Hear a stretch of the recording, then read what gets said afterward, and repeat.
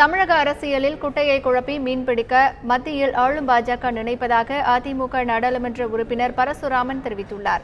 டெல்லியில் தந்தி டிவிக்கு பேட்டி அளித்த அவர் முதலமைச்சர் பன்னீர்செல்வத்தை பாஜகவும் திமுகவும் இயக்கி வருவதாக குற்றம் சாட்டினார்.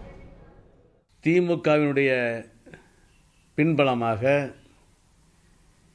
பிஜேபியுடைய பின்பலமாக ஓபிஎஸ் செயல்படுவதாகத்தான் நான் கருதுகிறேன்.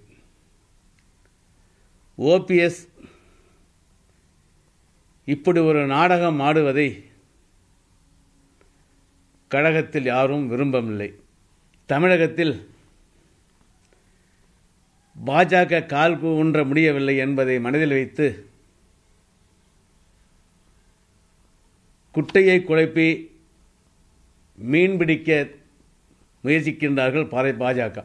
ஓபிஎஸ்ஐ இன்றைக்கு திசை திசை திருப்பி இயக்குவதும் திமுக என்பது நன்றாகவே தெரிகிறது.